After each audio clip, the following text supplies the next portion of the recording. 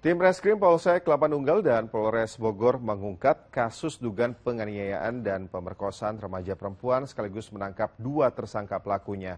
Untuk melancarkan aksinya, kedua tersangka mengiming-imingi korban sebuah pekerjaan dengan gaji Rp300.000. Kasus temuan remaja perempuan yang tergeletak di semak-semak di Desa Bantar Jati, Kelapa Nunggal, Bogor menjelang akhir tahun 2022 lalu akhirnya terungkap. Kedua tersangkanya pun telah diringkus polisi. Hasil penyelidikan sementara remaja itu merupakan korban kekerasan seksual dan perampokan yang dilakukan dua pria yang dikenalnya melalui media sosial. Hasil visum tim medis menyebutkan Korban mengalami luka akibat kekerasan di beberapa bagian tubuhnya dan terindikasi tindak pemerkosaan. Dalam aksinya, kedua tersangka berinisial MD dan S mengiming-imingi korban sebuah pekerjaan dengan gaji Rp300.000 sebulan.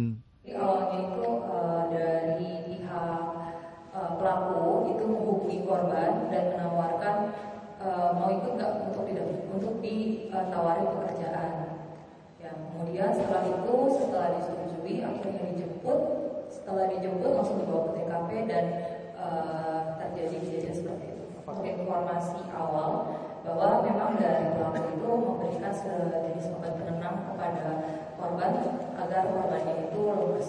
Kedua tersangka dijerat dengan undang-undang dan pasal berlapis, di antaranya undang-undang pidana serta undang-undang perlindungan anak.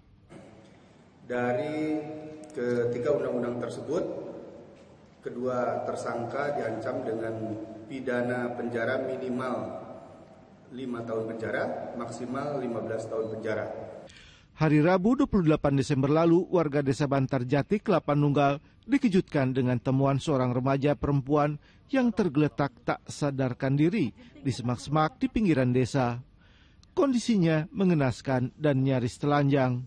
Dugaan sementara ABG Malang itu merupakan korban tindak kekerasan dan pemerkosaan. Asep Solihin melaporkan dari Kabupaten Bogor, Jawa Barat.